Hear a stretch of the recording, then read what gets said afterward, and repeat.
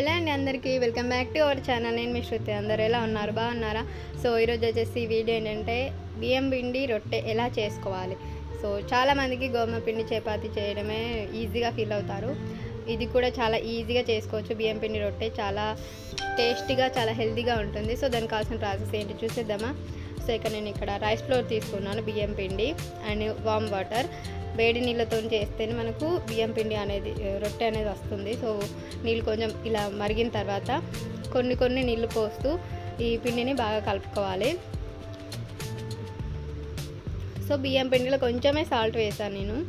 Salt వేసి normal ఒకటిసారి అలా కలిపేసి ఎందుకంటే బియ్యంలోనే సాల్ట్ శాతం ఎక్కువగానే ఉంటుంది. ఇలా కొన్ని కొన్ని వాటర్ యాడ్ చేస్తూ కలుపుకోవాలి. ఎందుకంటే మనం ఒకేసారి కలుపుకోరాదు. వేణులు వేడి నీళ్ళు కాబట్టి కాలిపోతుంది. సో కొంచెం కొంచెంగా కలుపుకోవాలి. నెమ్మదిగా. చల్లటి నీళ్ళు పోస్తే ఈ చపాతి అనేది రాదు. ఈ రొట్టె బియ్యం పిండిది.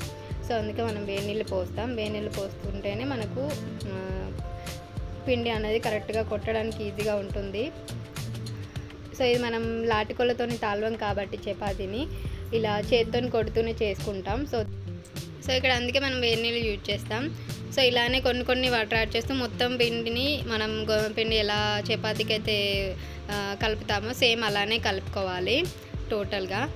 అలానే కొన్ని కొంచెం వాటర్ పోస్తూ మొత్తం లా మరీ ఎక్కువ కూడా పోసుకోకుండా ఇలా కొంచెం సేపు అయిన తర్వాత మనం ఇలా చేతితో మళ్ళీ పిండిని అంతా బాగా మిక్స్ అయ్యేలాగా పిసకాలి. మనం ఎట్లా చపాతి పిండి పిసుకుతామో అలానే ఈ చపాతి పిండి లాగానే మనం సేమ్ గోధుమ పిండి లాగానే మనం కలుపుకుంటాం ఈ పిండిని కూడా. కానీ ఇక్కడ డిఫరెన్స్ ఏంటంటే ఓన్లీ వామ్ వాటర్ యూజ్ చేస్తాం అంతే. మళ్ళీ చల్ టోటల్గా చల్లారిన తర్వాత కూడా కలపదు. అలా వేడివేడిగా ఉన్నప్పుడే కొంచెం గోరువెచ్చగా ఉన్నప్పుడు మనం ఈ పిండి అనేది కలుపుకోవాలి.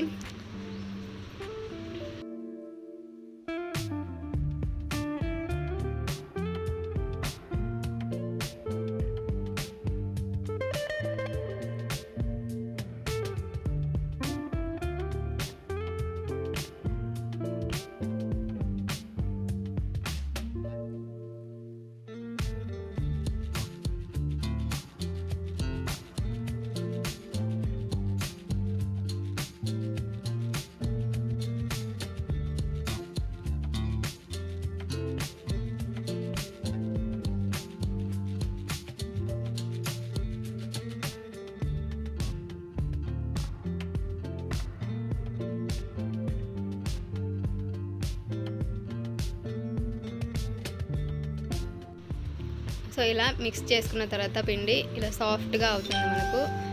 చపాతీ చేసుకునే కన్సిస్టెన్సీలో ఇలా మనం మిక్స్ చేసుకోవాలి పిండి అంతటిని. ఇప్పుడు కొంచెం కొంచెంగా పిండి తీసుకుంటూ చపాతీ చే- చేసుకోవాలి. ఫస్ట్ అయితే మనం స్టవ్ ఆన్ చేసి పెంచి పెట్టుకుందాం.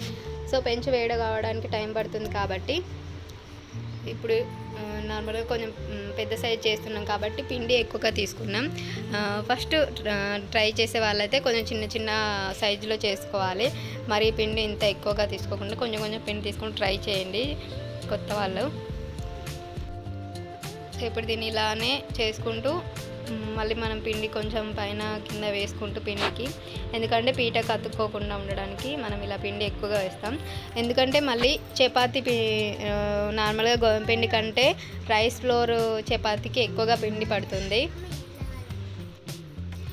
సో ఇలానే మనం చపాతీ పిండిని ఇలా కొట్టుకుంటూ వెడల్పుగా చేసుకుంటాం. సో దీన్ని అయితే తాళం కాబట్టి మధ్య మధ్యలో అలా పిండి యాడ్ చేసుకుంటూ ఇలా కొడుతూ చేసుకోవాలి. సో ప్రాసెస్ చూడండి ఎలా చేస్తుంది అనేసి మొత్తం.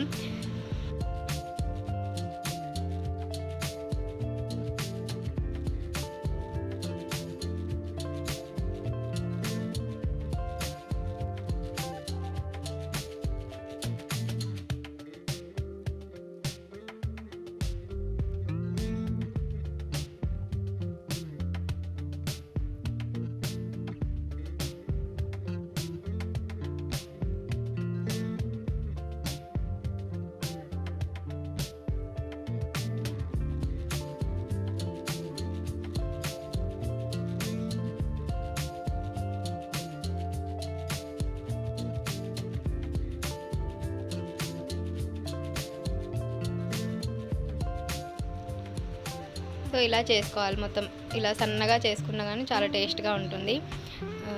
ఇలా పెంచు పైన వేసుకున్న తర్వాత మనం క్లాత్తో ఇలా అద్దితే ఏంటంటే కొంచెం చపాతి అనేది పొంగుతుంది.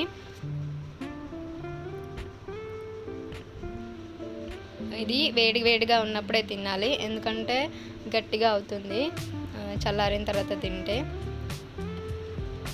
చూస్తున్నారుగా ఎలా అవుతుందో. నెమ్మదిగా మనం మళ్ళీ వెనుక సైడ్ తింపుకోవాలి. ఇలా కాల్చుకునేటప్పుడు కూడా మనం ఇది ఒక టిప్పు ఫాలో అయితే చపాతి అనేది మంచిగా పొంగుతుంది టేస్ట్ కూడా చాలా బాగుంటుంది.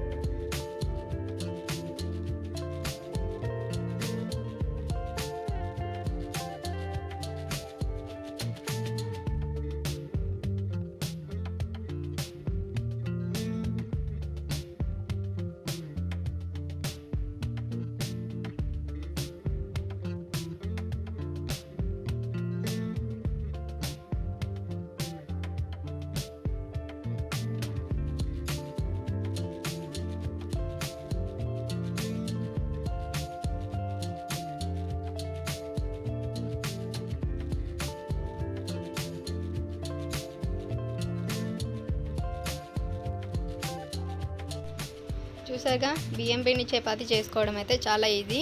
యాక్చువల్ నేను లెంత్గానే పెట్టాను వీడియో. సో ఎందుకంటే కొంచెం కొత్తగా నేర్చుకునే వాళ్ళకి ఈజీగా ఉంటుందని ఫుల్ వీడియో మొత్తం పెట్టేశానండి. చూడండి ఈ వీడియో మీకు నచ్చిందా? నచ్చితే లైక్ చేయడం షేర్ చేయడం కమెంట్ చేయడం అయితే అస్సలు మర్చిపోవద్దు. అండ్ మీరు ట్రై చేయండి ఎలా వచ్చిందో కూడా నాకు కమెంట్స్లో షేర్ చేయండి. Thank you thank you for watching bye bye take care love you all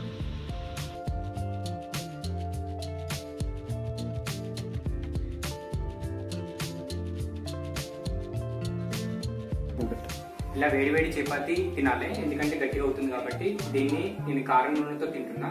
కారం నూనెకి సూపర్గా ఉంటుంది లేదంటే ఏదైనా చట్నీ అయినా పర్లేదు ఆకుకూరలు అయినా పర్లేదు. చూడండి ఎంత మెత్తగా సాఫ్ట్గా ఉందో. కారం నూనె చిన్నప్పుడు తిన్నాం కదా ఈ చపాతీలకి చాలా చాలా బాగుంటుంది. సూపర్ టేస్ట్ ఉంది. Healthy food. అండ్ చూడండి మంచిగా కారం నూనె లైట్ ఉప్పు యాడ్ చేసుకొని.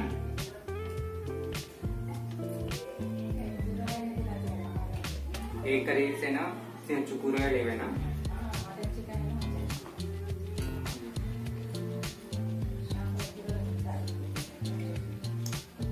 చాలా చాలా బాగుంటుంది మీరు కూడా ట్రై చేయండి.